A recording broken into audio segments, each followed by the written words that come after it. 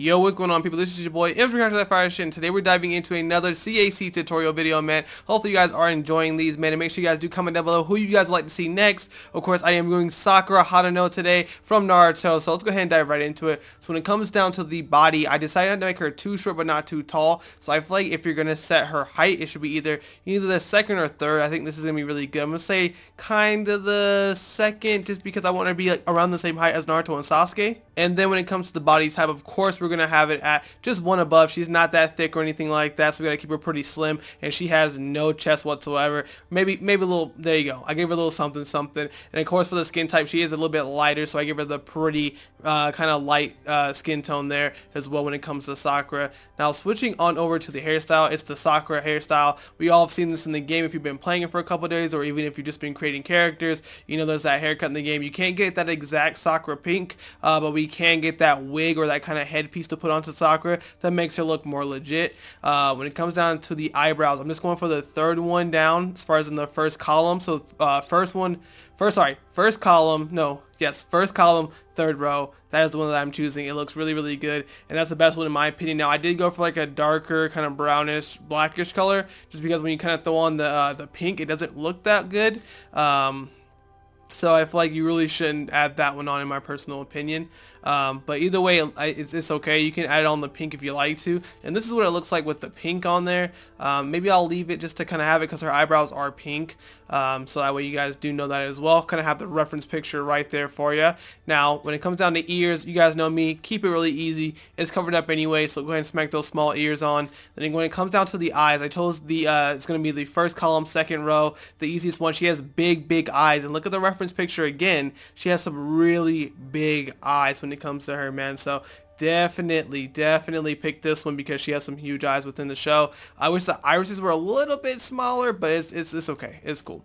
Uh, so for right pupil, I did the biggest eyes possible. And of course, as far as the color goes, it's going to be this kind of green right here. So first row, it's going to be the fourth one right there. So it looks really good. And that is going to be the same exact thing when it comes down to the left pupil as well. Uh, so moving on to the nose, I kept it super simple. Third one down there. So second column, uh, third row looks really easy to kind of work with. Just a small little nose. She doesn't need anything crazy. Now I did want to add some fullness to her face because you don't want to choose anything this small or you know big lips or anything. But I did choose this one here, and it works really really well. That's the one that uh, sorry this one right here. This is the one that I like in my personal opinion. Gives a little bit of fullness to the face. Uh, she definitely needs that of course. And then next you're gonna have as far as the features, it's gonna be of course her trademark kind of diamond there on her forehead or if you like to you can switch over and give her the full transformation right here to kind of activate her a thousand or a hundred healing technique or a hundred healing jutsu. So really really clean stuff or you can add both if you like to. Uh, there's no reason you can't. It looks really cool if you do actually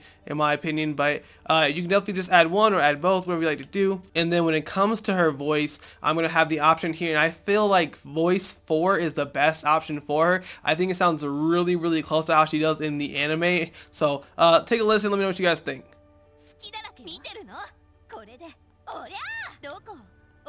I think it sounds really, really close, so hopefully this will work well. And if you guys have any disagreeing or anything like that, let me know what you guys would change as far as this portion goes. Now, I feel like Voice 4 was the best option. Let me know what you guys think in the comments down below when it comes to Voice 4. Now, let's go ahead and check out the actual costumes we can put onto Sakura. Alright, so when it comes to customizing Sakura, you have a couple different options or two different outfits you can go with. Of course, you can go with the pretty iconic one with being her pink top or kind of red top here uh, with the same kind of similar bottoms course, you have to throw the gloves right there for the hands. Makes it look really legit. Then, of course, you got the boots, and that would be the first costume. Now, of course, I do have the accessory piece on for her hair, because if you take it off, it's obviously her regular kind of peak darker hair uh, but of course you put this on gives her the legit one and she has the gloves on so that is the way you're supposed to do it plus I have another costume for you now this right here would be her Great War Arc outfit that you could also add on to Sakura. Of course this is really iconic from the 4th Great Ninja War. Super simple Jonin costume with the boots on, with the wraps on the feet, everything like that. The old reliable Kakashi costume but on Sakura. Same thing we did for Hinata as well. So uh, this is another option for you. Personally I'm going to go with a more iconic kind of classic Shippuden Sakura outfit but let me know which one you guys like more in the comments down below. But anyways, let's go hop over to the move set. Now when it comes to Sakura's moveset, you have a couple different options. I did choose Detroit Smash, 6 Path Spar, You Think You're Invincible, and Delaware Detroit Smash. Now this makes the most sense because it's the most powerful, hard-hitting ultimate move we have in the game.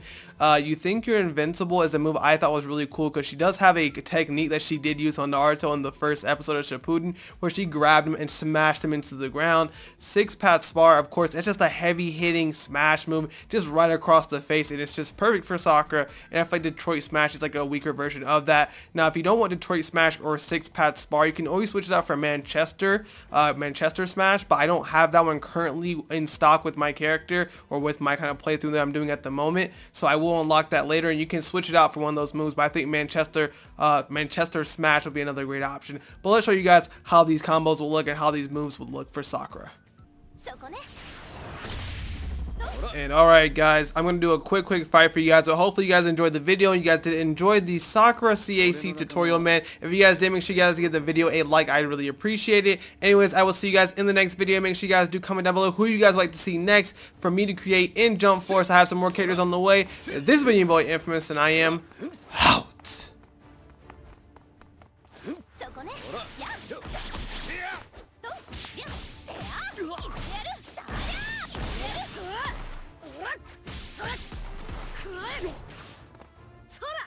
邪魔だ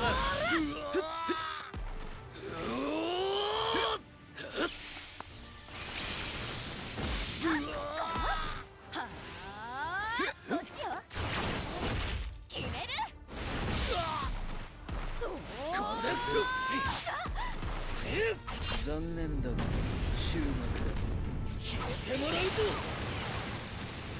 こいつの中でおとなしくしていろ。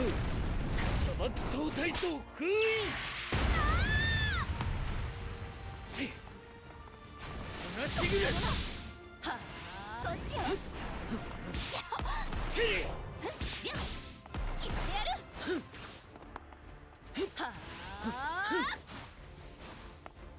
なんど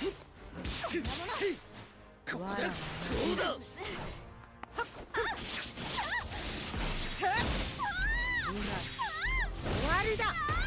了解だ